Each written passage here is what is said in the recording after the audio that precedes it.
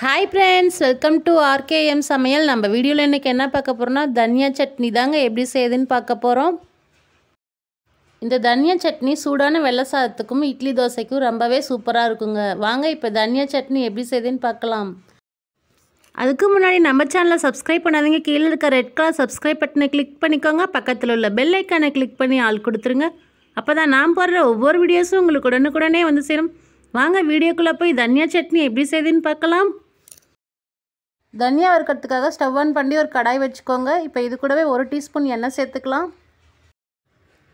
எண்ணெய் நல்லா சூடாயிடுச்சுங்க. இப்போ இது கூடவே ஒரு டீஸ்பூன் கடலைப்பருப்பு ஒரு டீஸ்பூன் உளுத்தம்பருப்பு எடுத்து வச்சுருக்காங்க. அதையும் சேர்த்துக்கலாம். கடலைப்பருப்பு சேர்த்துட்டு அடுப்பு கம்மியான தீயிலே வச்சு ஒரு நிமிஷம் போல் வறுத்துக்கோங்க. உளுந்தப்பருப்பு கடலைப்பருப்பு நல்லா வறுபட்டுருச்சுங்க. நம்ம இது கூடவே மூணு டீஸ்பூன் தனியா எடுத்து வச்சுருக்கோங்க. அதையும் சேர்த்துக்கிறேன். தனியா சேர்த்துட்டு ரெண்டு நிமிஷம் போல் வறுத்துக்கோங்க. அடுப்பு கம்மியான தீயிலே வச்சு தனியாக சேர்த்து வறுத்துக்கோங்க. இப்போ தனியாக நல்லா வறுபட்டுருச்சுங்க. இப்போ இது கூடவே மூணு காஞ்ச மிளகாய் எடுத்து வச்சுருக்கேன். அதையும் சேர்த்துக்கலாம். உங்கள் காரத்துக்கு தகுந்த மாதிரி மிளகாய் சேர்த்துக்கோங்க. நான் மூணு மிளகாய் சேர்த்துக்கிறேன். பாருங்கள் நல்லா வறுபட்டுருச்சு. இப்போ இது கூடவே ஒரு டீஸ்பூன் ஜீரகம் சேர்த்துக்கலாங்க. இப்போ இது கூடவே ஒரு டீஸ்பூன் மிளகு எடுத்து வச்சுருக்கேன் அதையும் சேர்த்துக்கலாங்க. இப்போ ஜீரக மிளகுலாம் சேர்த்துட்டு ஒரு நிமிஷம் போல் நல்லா வறுத்துக்கோங்க. இப்போ இது கூடவே ஒரு கொத்து கருவேப்பிலை எடுத்து வச்சுருக்கோங்க அதையும் சேர்த்துக்கலாம். கருவேப்பிலை சேர்த்து சட்னி செஞ்சோம்னா ரொம்பவே சூப்பராக இருக்குங்க. இப்போ இது கூடவே ரெண்டு கைப்பிடி தேங்காய் துருவலை எடுத்து வச்சுருக்கோங்க அதையும் சேர்த்து நல்லா வறுத்துக்கலாங்க. தேங்காயோட பச்சை வாசனை போகிற வரைக்கும் தேங்காய் நல்லா வதக்கிக்கோங்க.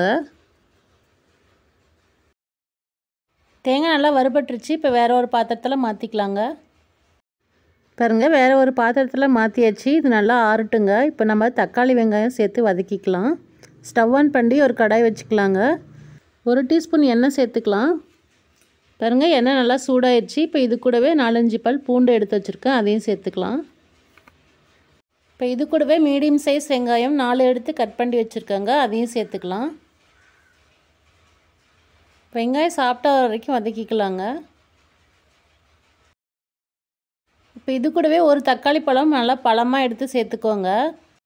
சாரிங்க தக்காளி போடுற வீடியோ என்னால் காட்ட முடியல. நீங்கள் ஒரு தக்காளி பழம் சேர்த்துக்கோங்க மறக்காமல் தக்காளி சேர்த்துட்டு நல்லா வதக்கிக்கோங்க தக்காளி நல்லா சாப்பிட்டா வரட்டும். பாருங்கள் தக்காளி நல்லா சாப்பிட்டாயிடுச்சு நம்ம இது கூடவே ரெண்டு துண்டு புளி எடுத்து வச்சுருக்கோங்க. அதையும் சேர்த்துக்கலாம். ஒரு சின்ன நெல்லிக்காய் அளவு புளி எடுத்து சேர்த்துக்கோங்க நீங்கள் அவ்வளோதாங்க ஸ்டவ் ஆஃப் பண்ணிக்கலாம். இது ஆரணத்துக்கு பிறகு அரைச்சிக்கலாங்க. இப்போ ஒரு மிக்சி ஜாரில் நம்ம ஏற்கனவே வறுத்து வச்ச தனியாவும் தேங்காயும் சேர்த்து ஃபஸ்ட்டு அரைச்சிக்கோங்க.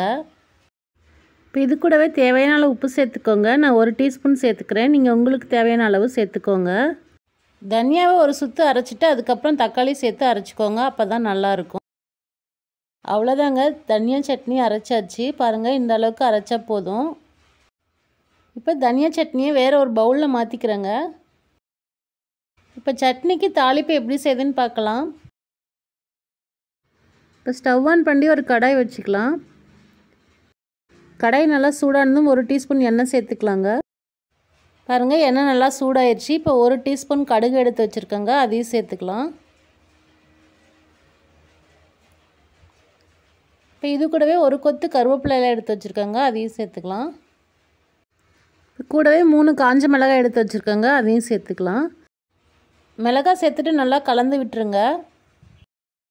இப்போ இது கூடவே கால் டீஸ்பூன் பெருங்காயத்தூள் எடுத்து வச்சுருக்கோங்க அதையும் சேர்த்துக்கலாம். சேர்த்துட்டு நல்லா கலந்து விட்டுருங்க. அவ்வளோதாங்க தனியாக சட்னிக்கு தாளிப்பு சூப்பராக ரெடி ஆயிடுச்சு. இப்போ சட்னியோடு சேர்த்துட்டு பார்க்கலாம். பாருங்கள் சட்னியோட தாளிப்பு சேர்த்தியாச்சு. இப்போ நல்லா கலந்து விட்டுக்கோங்க. அவ்வளோதாங்க சுவையான தனியா சட்னி சூப்பராக ரெடி ஆயிடுச்சு இந்த சட்னி சூடான வெள்ளை சாதத்துக்கும் இட்லி தோசைக்கும் ரொம்பவே சூப்பராக இருக்குங்க.